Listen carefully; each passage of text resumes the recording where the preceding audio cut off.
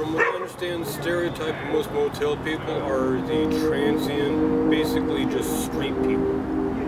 People who don't really have anything, they're dirty, they get a few bucks from bumming, then they get a room, they tear it up. We were living at my parents' house and actually in their fifth wheel, and they needed back to go to the cowboy shoots and stuff. So it was like of the situations of we had like two days to find someplace to go and home sweet home. uh, in spite of living like this, he's a smart little guy. You know, um, but he gets fed up with being cooped up in here because I, I don't let him out often. You know, unless I'm out there and I got a little free time and I can be out there. But, Yeah. Do you not feel safe with him out there? Well, no, would you? You feel safe coming here at night, or you know, you feel safe? My tenants feel safe during the day and at night only because they know they can come and get me. My white girlfriend of seven years, Melly and I lived in, we lived in, we've been living in hotels for about three years off and on. And uh, the one we're at right now is not bad. It's not bad compared to what's out there. It's cleaner. The managers are pretty cool. But we've been to the real bad ones uh, along the street, around here. Uh, what's it like living in these things? Well, privacy is something that you give up because you're so close to people.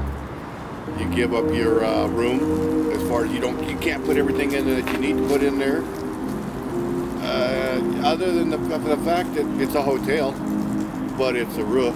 The only thing I'm worried about the weekly motels shutting down, if, if they did, uh, like this unit here holds uh, uh, quite a number of people, there would be a lot of people who wouldn't have, uh, who have, let's say, a bad uh, uh, credit rating or uh, don't make enough money. There's a lot of people who are in the category of right around seven, eight hundred dollars a month. So that's everything they get. They're in their, they could be in their 70s or 80s or whatever it may be. If you shut these places down, the problem is they have nowhere to go. A lot of people are just down on their luck. They they have had actual lives, but things happen. They do have a few a few dollars saved up already, but they need somewhere where they can live. They can't afford their full apartments anymore or their houses, whatever their situation had been. So a lot of times, motels, you don't have to pay the first month, the last month, quite often a security deposit. Sometimes there's just like maybe a few dollars for cleaning.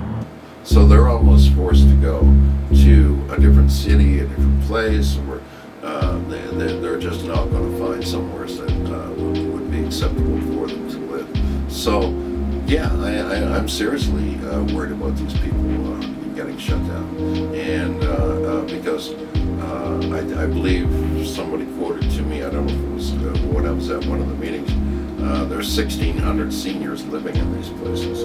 Uh, and so that's a lot of, uh, and a lot of them are disabled, so that's a lot of people that you're going to put out on the street. but that's about it. So motels end up being the quick and easy move to. At least I have a roof over my head for me, and whatever my family may be. Myself, I have it easy. I have to be alone, just a couple cats. But I've been in Reno for long enough. I know people. They're the parents sleep in the bed, the kids sleep in. Here's this nice little mat on the floor they're a lot of times talking with people they feel bad because they did used to have lives and they're really not happy about having to raise their young people in a situation that isn't too terribly optimistic But we're rest of them I, I don't, I don't even. There's no place for them to go. There's no housing. Till you guys get that tiny housing going, that will work out really cool. Mm-hmm. 4,000 people live in weekly motels, 1,600 of which have lived there for more than a year, 1,300 of which are seniors, and 300 are children. ACTIONN is the first group that I've actually seen that is actually going out into the community and to the places that uh, where these people are, like myself, who do exist, and are trying their best to ascertain ideas, trying to uh, come up with solutions for these problems. If you want more information or would like to meet with me, just email me at aria at actionn.org. Thank you.